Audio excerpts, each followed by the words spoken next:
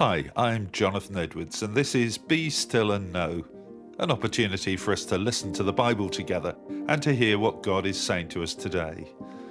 John chapter 1, verses 26 and 27.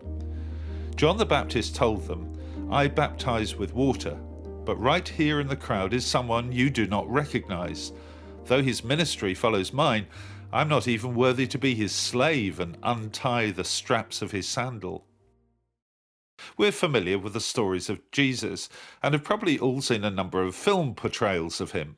It's hard for us to imagine that there was a time when people didn't know who he was. He didn't stand out in a crowd.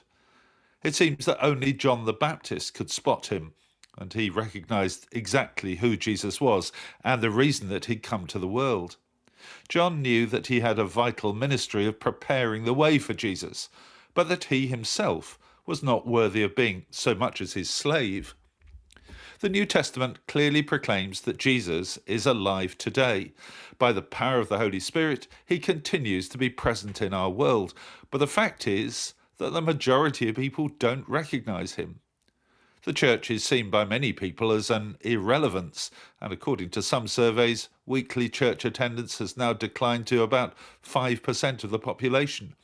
There's still some teaching about Christianity in schools, but it's probably true that the majority of people know little about Jesus.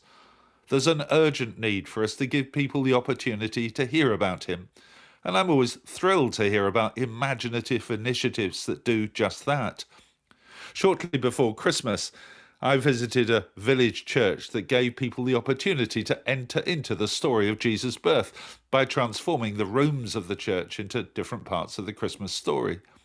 It was done with great imagination and effectiveness. More than a thousand people in that village visited. Isn't that wonderful?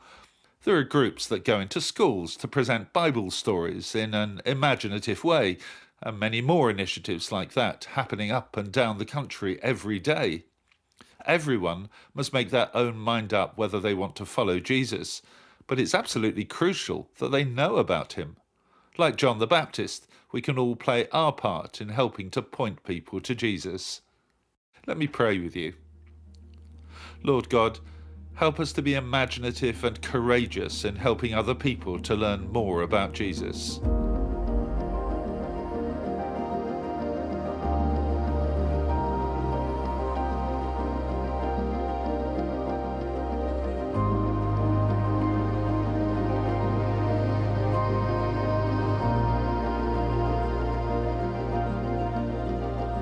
Amen. Thanks for listening. I encourage you to join me every day for Be Still and Know here on Premier or to download it as a podcast. And if you'd like to receive a free copy of our magazine, Voice of Hope, which contains all of these devotionals and much else besides, please visit premier.org.uk forward slash voice of hope. God bless you. I do hope you have a great day.